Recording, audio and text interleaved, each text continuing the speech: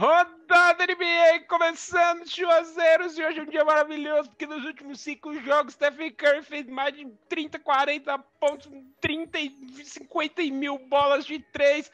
Não deu certo outro? Não deu, mas eu não tô nem aí. Hoje é Golden State oh. aqui. A gente tá normalizando 30 pontos, né? Eu tava vendo as estatísticas. Falei, deixa eu ver o Jokic no jogo de ontem. Ah, 25. Ah, 25. Nossa, foi mal, né? Não, tipo, ah, normal, 25. Mano, 25, cara. Você faz 25 pontos, tem que estar tipo. Ah! A gente normaliza umas coisas, né? Nada a ver, né? Tipo, a gente acha, putz. Não fez 30. Que Gabriela, bosta. eu quero ir da notícia triste pra notícia boa hoje. Tá quero bom. Terminar boa. Esse país, esse país precisa. Esse país precisa desse rodada. A primeira notícia é que James Harden está fora por tempo indeterminado. Ele Olá. regrediu na recuperação da lesão da coxa e ninguém sabe quando que ele vai retornar. Oh. Pelo amor de Deus, Brooklyn Nets. Calma aí. Pelo amor eu... de Deus. Antes de você ir pro lado bom, eu quero falar que eu fico muito revoltada com essa questão. Pistola. Pistola. Com essa questão das lesões. Já perdemos Jamal Murray. Então, o Denver, que vinha tipo. Lá, Marcos Aldridge. Lá, o Marcos Aldridge, mas aí é uma questão também de doença crônica, aí também, enfim, a gente não tem como. Mas essas lesões, por exemplo, ontem o Trae Young é, torcer o pé, tudo bem, não vai ser nada, esperando que seja nada grave, não sei o quê. E aí vai acontecer o quê? Vai todo mundo começar a machucar, os times agora começaram playoff, os times que estão jogando bem já não vão começar mais, porque não estão com a equipe inteira, e aí de novo vai ser um playoff do tipo, ah, hum, que legal. E aí eu falo, por que, por quê? Por que, que a NBA não faz 60 jogos? Por quê? E agora eu acho que fica uma coisa muito estratégica para os jogadores. Por exemplo, o Clipper já tirou o Kawhi. O Kawhi já, tipo, não tá tanto jogando, porque eles não. Né, agora o Paul George que tá caindo. É, e aí você começa a ver. E aí falta ainda, gente. Falta ainda umas três semanas de jogo. É jogo pra caramba, não é pouco jogo, não. E aí agora Ai, o Brooklyn, Gabriel. o Brooklyn não sei, pode ser que ele volte no, na primeira rodada do playoff? Pode ser, pode ser que não. Pode ser que na segunda, pode ser que na segunda. Se ele tivesse no Houston, tudo bem que o Houston já não ia para lugar nenhum, mas, tipo, tô irritada. Tô irritada já. Só queria começar com essa notícia aí, que nós ficamos é, revoltados com essas coisas. Principalmente porque a gente quer ver o Brooklyn Nets aí no, no 100%. Ganhando. E a sorte é que você faz, você faz um time você tem Kevin Durant e Kyrie Irving, né? Então, tipo, e eu. E, e, pera, e mais outras pessoas. e aí você dá conta, mas é isso, tem que criar um super time para você, se você perde duas peças, você ainda tem chance de ganhar o título. Aí faz o quê? Aí o Lakers recupera todo mundo, o Lakers vai lá e ganha o campeonato. E é tudo isso. bem. E tudo bem. Pode ganhar, ia, podia ganhar de qualquer jeito, mas tipo, tá, vai ganhar 4x0, 4x1, é tipo. Hum, não é queremos isso. isso. Então, não queremos isso. torcida para recuperação aí do James Harden, que ele volte e fique aí 300%, porque nós queremos ver times completos nos playoffs. Por favor, NBA, por favor, me ajuda a te ajudar. Vamos falar de Portland e Clippers, Gabriela. Lillard não jogou essa partida. Uhum. E aí, quem apareceu foi CJ McCollum e Norman Powell, que uhum. jogaram muito. E o nosso querido amigo, que nós não falamos faz um bom, um bom tempo aqui no Rodada, conhecido como Carmelindo. Ah, ele, ele jogou muito boas, né? no último quarto.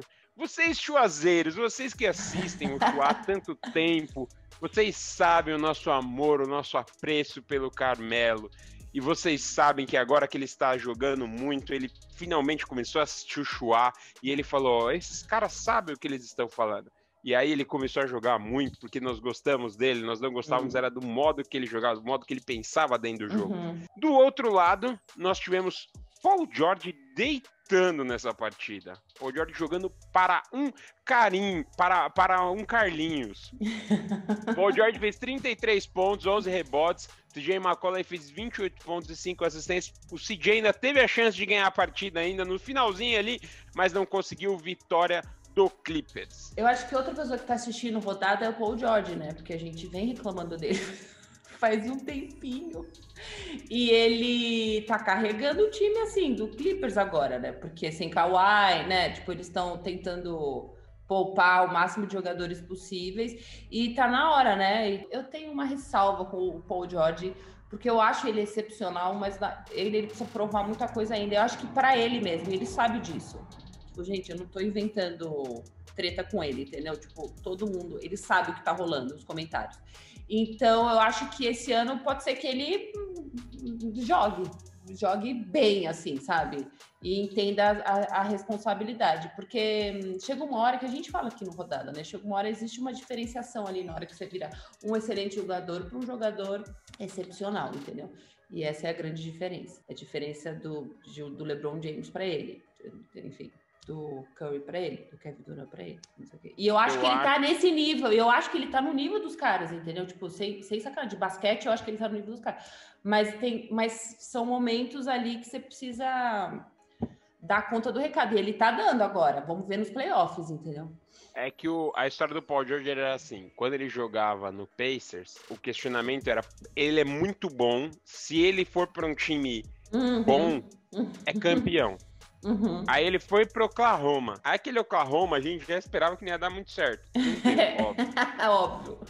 É... E a gente avisou. E as pessoas. A gente avisou. E as pessoas falaram: vocês não sabem nada. Vocês sabem o que vocês estão falando. A gente já sabia desde o início. Aquele time ali de Paul George, Westbrook, Carmelo, a gente já sabia que não ia dar nada certo. Não ia dar nada certo. É, aí ele foi pro Clippers, Isso. junto com o Kawhi. Aí, aí a gente falou. Nossa, agora vai. Agora vai. Agora vai. E tava indo. E tava indo, não deu certo. Até os playoffs. temporada né? passada, os playoffs eles deram uma bela de uma entregada ali. Nossa senhora. Nossa, quase entregaram e... pro Dallas. E aí eu acho que agora, tipo, acontece o óbvio, né? Você uhum. perde as expectativas no, no, jogador, né? Você fala, ah, é o Paul George, né? Joga muito uma partida e na hora que precisar dele, ele não vai jogar. Essa é a visão do nosso e querido é... amigo torcedor. Ó, esse é um bom exemplo, porque, por exemplo, foi também foi de um ponto nos últimos minutos. Se o Lillard tivesse na quadra, eu tinha. Sério, é uma certeza que todo mundo tem. Se o Lillard tivesse na quadra, faltando os dois segundos e a bola tava na mão dele, carregava. o Lillard ia ganhar esse jogo pro Portland, entendeu? Essa é a diferença para mim, sabe? Tipo, você que o cara vai meter a bola. Mas, gente, tudo bem. George ainda é excepcional. A gente só tá aqui criticando um pouquinho. Críticas construtivas. Se ele escutar o rodada, colocar a legenda, colocar uma legenda em inglês aqui nesse rodada, a gente manda para ele e aí ele vai entender. Nós só estamos questionando que ele pode ser muito melhor do que ele já é. é. Esse é o ponto. E ele pode assim. chegar lá. Se a gente critica, você, sabe que a pessoa fala assim, nossa, você, você, pode chegar lá, e aí você fala, por que, que essa pessoa está me enchendo o saco? É porque a gente sabe do seu potencial, entendeu? Bruno, eu conheço o seu é potencial. O Esse é o Chua. A gente conhece o potencial. Esse é o Chua. A gente bota o dedo em que a gente acha que pode ser melhor. Se a gente, Se a gente nem tá falando do jogador. a gente botava o dedinho no Westbrook e a gente falava assim: Westbrook, você, você é bom, velho. Carmelo Anthony, você é bom. É Aí, lá, olha lá. Vamos! Vamos, vamos. fi. Vamos, fi. Westbrook ganhou ontem, inclusive. É, então, eles estão indo bem, não estão? Golden State. Já entraram no play-in, hein? Olha lá. A gente falou no último rodada que estavam para entrar, entraram agora. Vamos falar também de Denver e Memphis. Isso. Eu preciso falar muito, Gabriela. Fale. Desse menino conhecido como Jamoran, que esse moleque é um fenômeno. É, ele é muito. Esse moleque joga muito, mas muito, muito mesmo. Ele teve uma oportunidade no. Porque esse jogo foi para duas prorrogações. Na primeira prorrogação, ele, te, ele quase, mas ele quase, quase, quase, quase fechou o jogo com o game winner de Rebodank. É que ele não conseguiu. Nossa, ia ser lindo demais. Oh, é da hora ver o banco, na hora que ele arma assim, ó, que ele pega a bola aqui, só que ele não consegue voltar. É que assim, é, o Memphis é também um time em construção. É. é o segundo ano dele ainda também. É... Tem que ter paciência, né? Tem que ter paciência. Tem que ter paciência, mas assim, mas é um excelente jogador.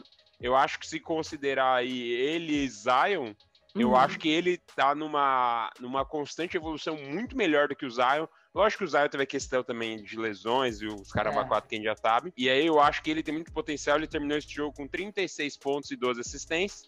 Só que quando você joga com o Denver, meu querido man, se você teve a chance de matar o jogo duas vezes, que foi a oportunidade que o Memphis teve, você tem que acabar com o jogo. É. Aí você deixou um respiro para aquele cara chamado Nikola Jokic, Nossa. que fez simplesmente 47 pontos nessa partida e 15 rebotes.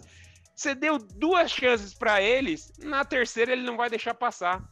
Aí na terceira ele foi lá no segunda prorrogação, Jokic comandando o time, acabou com a partida, nosso potencial MVP aí, Denver, mais uma vitória, mas eu queria deixar aqui esta homenagem ao Jamoran, de que como eu gosto dele, vai torcedor do Memphis, porque vocês não são o torcedor do Minnesota. Mas eu acho que um jogador como o Jamoran, é bom ele estar tá num time como o Memphis, entendeu? Um time que ele tem espaço, sabe? Que ele tem responsabilidade, e uma responsabilidade do tipo, né, vamos ganhar, vocês precisam ganhar o campeonato, tipo, vocês estão no play-in tudo agora é lucro, sabe? Tipo, tudo é lucro. Qualquer jogo que eles ganharem é lucro. Isso é bom para a carreira, isso é bom para a autoestima dele. Enfim, o Jamoran tá voando. Ai, gente, o Jokic, eu não me conformo. Primeiro que eu não me conformo que o Denver já, ó, já perdeu o Jamal Murray. Então, assim, o Jokic vai ter que segurar esse pianão aí.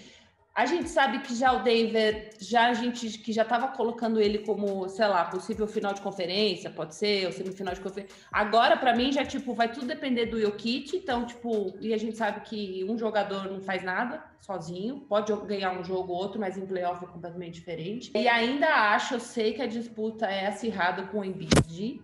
Principalmente ontem ele meteu. se ele metesse aquela bola, eu ia ficar muito indignada depois a gente fala sobre isso contra o Phoenix. Mas Jokic, ele é seríssimo, seríssimo candidato a MVP da temporada, tá? Então, assim, se derem para outro jogador, só vou aceitar se for um Embiid.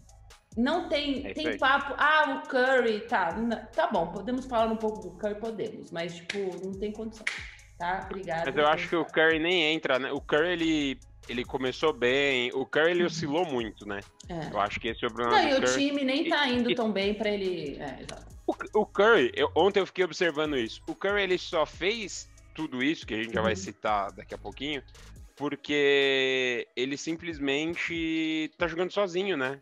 Uhum. Ele, cara, ele é o cara que tem que pontuar é. para o time ganhar. Agora a gente vai falar só dos times dos records. Phoenix e Milwaukee foi um jogo excelente. Excelente. Primeiro, porque foi pra prorrogação também. Tivemos outro jogo na, prorrogação. Na prorrogação. prorrogação. o Chris Paul, precisamos falar sobre este cara. Nossa, como ele joga muito, como ele, como ele é diferente, como ele entra no elenco. Ele deu assistência de, de de costas. De, de, ele levantou costas. a bola aqui, ó, e jogou para trás aqui, ó. Levantou e ó, mandou aqui para trás. Esse jogo ele terminou com 13 assistências. Passou o Magic Johnson no recorde aí total de assistências da NBA. Hoje ele é o quinto jogador com mais assistências. Então só tá caminhando lindamente. Quem levou esse jogo para prorrogação foi Chris Middleton e Devin Booker. Mas não podemos esquecer de falar de Antetokounmpo, que também jogou bem essa partida, terminou saiu, com 33 ele saiu, pontos. Foi isso que ele saiu, né? É. Saiu Olá, no, na okay. prorrogação. Por que, que ele saiu?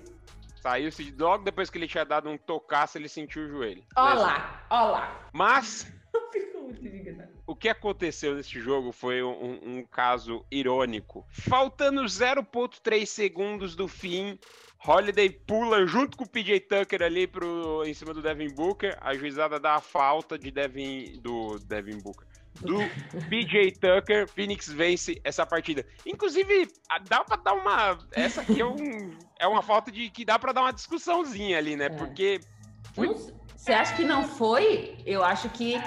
Não, eu acho que a galera. Eles estavam vendo quanto tempo faltava, eu acho. Quanto tempo faltava. Mas que foi falta, ah, fez barulhão, fez barulhão, Bruno. Fez barulhão. Fez barulhão, você tava lá, né? Tava lá, eu escutei. Eu falei, é ô Booker, beleza? Fez barulhão, não fez? Fez. siga com, siga ah, com o próximo tá. jogo do Phoenix. Eu só quero. Ah, tá. É, na verdade, é, primeiro que o Phoenix tem uns cinco jogos, eu tava aqui vendo, que são cinco jogos fora de casa e são muito importantes. E eles já ganharam dois, né? De times assim, do, sei lá, dos cinco primeiros da, da, da tabela. E eles estão, tipo, voando. Então, Milwaukee Phoenix, que eles já ganharam, eles pegam o Boston, tem o Nets, que já vai estar sem o James Harden. O New York Knicks, que, gente, tá ganhando. New York Knicks a gente tá fingindo que não tá vendo, tá? Mas eles já estão ganhando muito. E aí eles pegam Clippers e o Utah. Então eles têm vários jogos importantes, já ganharam os dois primeiros, o que já é, sei lá, um lucro, que a gente já tava falando. Será que o Phoenix vai conseguir manter essa posição e chegar nos playoffs e conseguir ganhar desses times? Aparentemente vai, né? Porque, como o Bruno disse, em CP3 confiamos e colocamos todas as nossas fichas. Nesse jogo ele fez 28 pontos, mas o que eu quero falar é que o Embiid quase, quase fez a jogada do século da, da temporada. Chris Paul foi bater o lance livre e faltando 0,8 segundos, ele errou um lance livre, o Chris Paul caiu na mão do Embiid, o Embiid teve tempo só de vir, mano, 0.8 segundos. Foi muito rápido. Foi, foi muito, muito rápido. rápido. Ele jogou a bola para outro lado do a bola bateu na tabela. E... Foi injusto. Mas foi muito injusto. Entrou no aro, rodou, rodou, entrou, entrou, gente. Ela entrou, rodou e saiu. Foi injusto demais. E assim, e aí o técnico do Fins falou: Nossa, se essa bola entrasse, eu ia ficar tipo, hoje, amanhã, a semana inteira sem dormir, sem acreditar que a gente perdeu o jogo por causa dessa bola. Já Essa acontece. bola ia levar eles para prorrogação, né? Pelo amor de Deus, pela... mas mesmo assim, tipo, sabe, vocês iam perder o jogo na temporada. Aí, aí você vai para prorrogação, que nem você falou, você vai para prorrogação com Denver, você vai para prorrogação com o Fi... Filadélfia, filho, você, você tá jogando, você, você, você sabe, tipo, tudo pode acontecer. Mas, enfim, Phoenix conseguiu fechar esse jogo, tá jogando bem, tá segurando as pontas, porque o time tá completo, né, gente? Pense se nesse time, Deus me livre, vou falar, mas tipo, o Chevitri machuca. Como é que a gente faz? Como é que a gente faz? Tipo, acabou. Aí a gente fala, nossa, que legal. Aí o Phoenix já era, entendeu? Então, por isso que eu tô muito chateada com essas lesões. O que eu gostei mais desse lance aí é que na hora ah. que ele joga, né? tem, aí tem 50 câmeras na NBA. E aí, beleza, tem a câmera do Embiid olhando e aí ele cai no chão porque não caiu. E aí é muito legal que o Devin Booker tá embaixo da cesta, né? Uhum. Aí o Devin, na hora que ele lança, o Devin Booker só olha assim, tipo, ah, não vai dar em nada, né, mano? O cara pegou assim, tipo, Aí na hora que ele olha, assim, aí ele dá, tipo, você vê na, na, no semblante dele, assim, que ele dá uma olhada diferente, assim, pra bola, assim. Aí ele olha a bola, cara. Tanto que ele nem comemora. É muito não, que ele nem comemora. Ninguém comemora. Ninguém, ninguém comemora. comemora. É tipo, malandro. malandro, a gente ia perder esse jogo. E, a, e a, sabe qual foi a, a, a, cagada? Foi que a bola tava muito forte. Se ele joga, eu acho, com menos força, a tabela. Porque eu acho que a força que bateu na, na tabela foi ali que, a, que deu. complicou. Ah, é muito é bola que entra dentro do ar e sai é muito injusta. Não, mas assim, né? Extremamente injusta. Eu acho que essa daí só ia ganhar se entrasse da bola do Kawhi, que ele ganhou o jogo com aquela cestinha na, na zona Nossa. morta, né? Tipo. Aquilo ali pra mim, aquela bola do Kawhi ali é roteiro de filme. Aquilo, é, é, cinema. É, é, cinema, Bruno. Só aquela foto ali, e aí você vê todo o banco também, o banco do, do, do Filadélfia, tipo, pronto pra comemorar, né? Tipo, ele já tava assim, mano, vamos comemorar. Não deu. Mas a bola é pinga cinco, a bola pinga cinco vezes no aro. Qual? A do, a do Kawhi? A do Kawhi. Ah, você a do Kawhi. Tá, do Kawhi. Cinco vezes ela pinga no aro. Se isso não é um, se isso não é um filme, eu não sei o que tem é. Tem tempo, tem tempo de reação. Nossa, maravilhoso isso, né? Gabriela, a gente vai agora para nossa thumb ou você tem mais algum jogo? Não, a gente vai para nossa. Qual é a nossa thumb? O menino Curry, né? Não tem ah, nem o que menino. oh, a gente nem falou do. Tem nem o que discutir, Bru, né? Vamos Ele e o CP3. Vamos colocar Ele e o CP3. CP3, CP3. Os dois, os dois. Bateram recordes nessa, é. nesse rodado, não tem nem o que falar. Pode falar do seu menino. Bom, para fechar então, vamos falar de Golden State e Filadélfia de novo. Mais uhum. uma derrota do Filadélfia, mas a gente precisa falar deste cara chamado Stephen Curry. Foi o jogo dos, irmã, dos irmãos. Ah, dos irmãos. É, Foi muito legal. Depois eles postaram, né? Os dois postaram no, no Instagram as gente. fotos deles jogando junto. Eu acho mó legal. Tipo, e aí queria ter a rivalidade e tal. E aí no, no primeiro quarto tava 10 a 0 pro Philadelphia. Ainda tem uma bola que o Seth Curry rouba do Stephen Curry, faz 12 a 0. Uhum. Aí acabou o jogo do Philadelphia. O Philadelphia fez 12 a 0 no primeiro quarto. Só pra você ter uma ideia, o primeiro quarto terminou 24 a 24 com 20 pontos do Curry. Nossa, Deus. É uma então, máquina. Assim, Ele é uma maquininha mesmo. É muito fácil, E aí, né? depois disso, foi só Curry, né? Ele terminou esse jogo com 49 pontos, 10 bolas de, de 3 pontos de 17. Embidão ainda jogou muito essa partida, fez 28 pontos e 13 rebotes, mas não tem nem o que falar. Eu acho que aqui o que fica é assim: Curry, tirando o último jogo, né? Eu já vou citar que foi o jogo de ontem, mas até o jogo de Filadélfia, os últimos cinco jogos deles tinham sido 49 pontos e 10 de 3, 47 e 11 de 3, 33 e 4 de 3, 42 pontos e 11 de 3 e 53 pontos e 10 de 3. Ou seja, em cinco jogos ele fez 20, 42, 46 bolas de 3. Só? Em 5 jogos. Média de 9 bolas de, de 3 por jogo. Parece fácil, né? É aquele tipo de jogador que você olha, você fala assim, nossa, esse é... tipo, que nem o Federer jogando. Tipo, eu olho o Federer jogando e falo, ah, gente, isso aí deve ser fácil aí. Tipo, é só chegar na bola, bater a bolinha. Você não deve. Imagina que você não acerta aquela bola. E o, e o Curry é meio que isso. Tipo, ele, a bola sai da mão dele e você fala, vai cair. E esse jogo, ele estava bizarramente, tipo. O que ele fizesse com a bola, a bola ia cair. Ia cair Aqui, aquela hora ele tava fazendo. Qualquer coisa que ele fizesse com a bola. É um problema, né? É um problema quando você tem que marcar um cara desse, né? O que, não, que você faz? Ele você não tem o que E aí ele dava. Porque se ele fosse pra dentro e infiltrar, ele, ele manda bem na, na infiltração. Uhum se ele desse um, um, um crossinho e puxasse para trás, ele já. Ele acerta de tudo quanto é lugar da quadra. Ele não tem um ponto que você fala, não vai dar. E assim, eu vou te falar: tem jogo, a gente já viu o jogo dele, que ele erra muito. E assim, ele é um dos jogadores que você tem que olhar para ele e falar: continua chutando porque vai cair a bola. E vai cair na hora. E ele já teve jogos que ele acertou duas bolas de três, as duas foram no últimos, nos últimos dois é. minutos do jogo, empatou o jogo, ganhou o jogo. A gente já viu ele fazer isso. Então, assim, ele é uma coisa assim absurda. Como diz. Quem que falou isso que ele mudou o jogo do. Eu quero lembrar qual foi o jogador ele mudou o jogo da NBA. Mudou. Ele mudou, ele mudou, ele revolucionou o jogo da NBA. Existe um, jo um jogo da NBA antes do Curry chegar e depois do Curry. Essa é a importância que Exatamente. ele tem. Então, tipo, podem falar o que for. Ah, mas ele, não ele só ganhou porque tinha o Kevin Durant, ele só ganhou porque tinha, tinha um time. Não, tinha também. É, você não faz nada sozinho. Mas, assim, ele revolucionou o jogo. Assim como Michael Jordan revolucionou o jogo e LeBron James, né? Temos que dar isso. A gente, é, a gente já falou em algumas rodadas, tem estudos que mostram, né, antes do Curry, o mapa de calor de onde era a maior concentração de pontos, né? Uhum. Ficava tudo ali no, no garrafão, né? Ou ali uhum. na, no meio do perímetro. E depois que o Curry chegou, três pontos. Uhum. Três pontos ou garrafão. É, é, isso, é três pontos e garrafão. E você vê que ele mudou, porque hoje a gente tem diversos chutadores bons de três.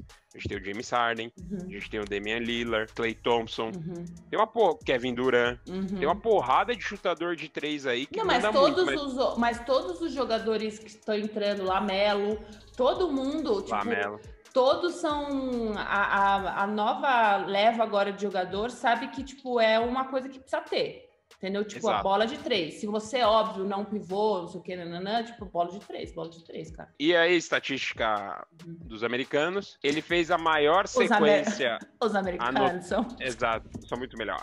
Eu não aguento, tudo bem. A maior sequência fazendo no mínimo 30 pontos né com mais de 33 uhum. anos era do Kobe que tinham Nossa. 10 jogos aí, pelo menos uma sequência de fazendo 3 pontos, no mínimo uhum. 30 pontos. Uhum.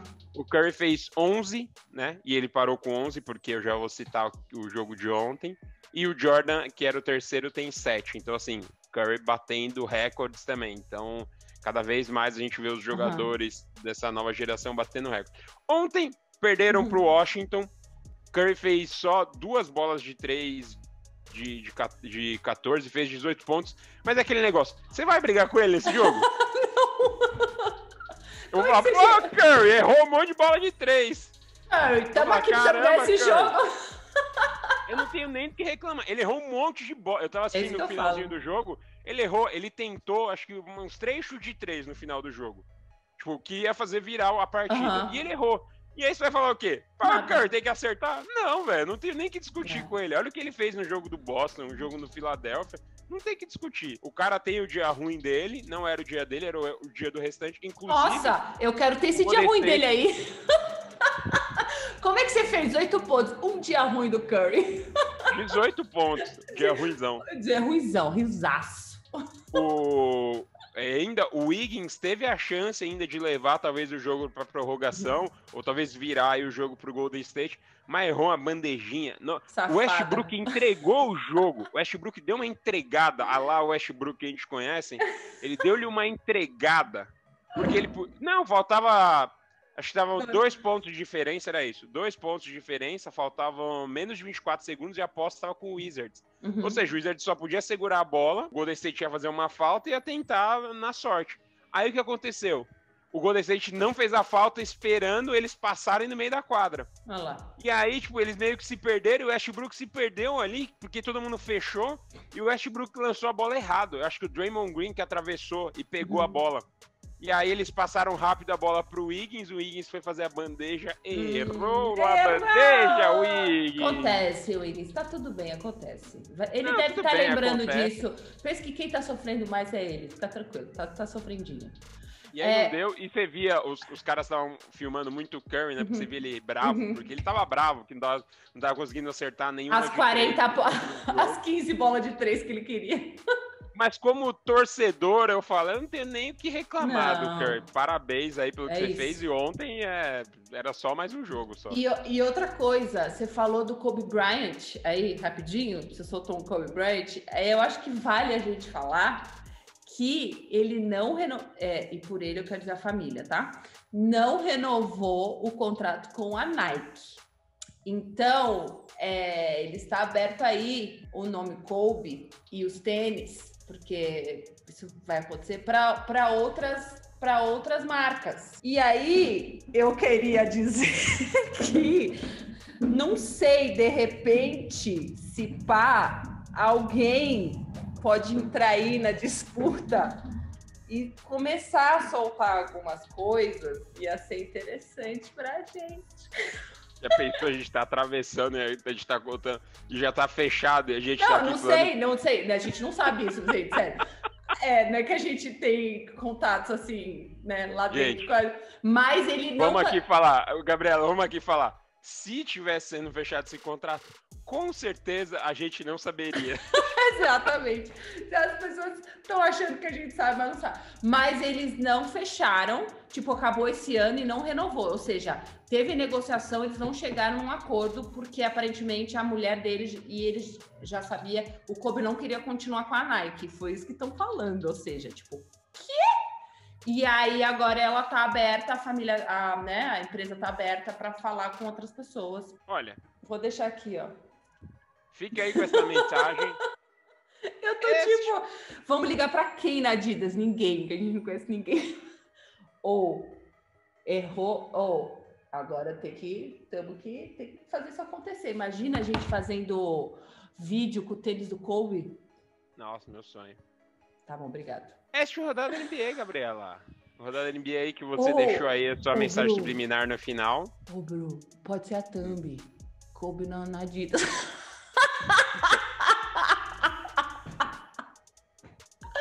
pensou? Adidas, aí a gente tá com um milhão de visualizações. A gente tá falando rodada.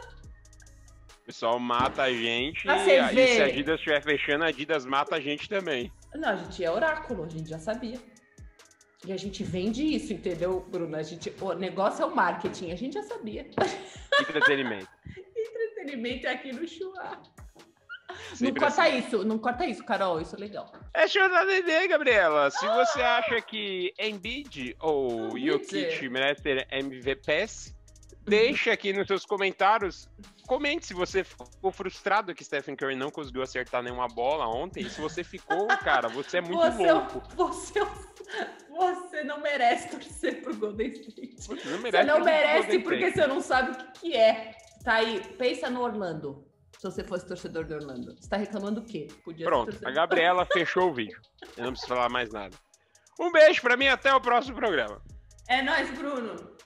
Tá Tchau. Bru, tá acabando, tá começar playoff daqui a pouco. Tá acabando, vai começar. Uhum. Tá perto, tá perto, Chazeiro. Os playoffs estão perto.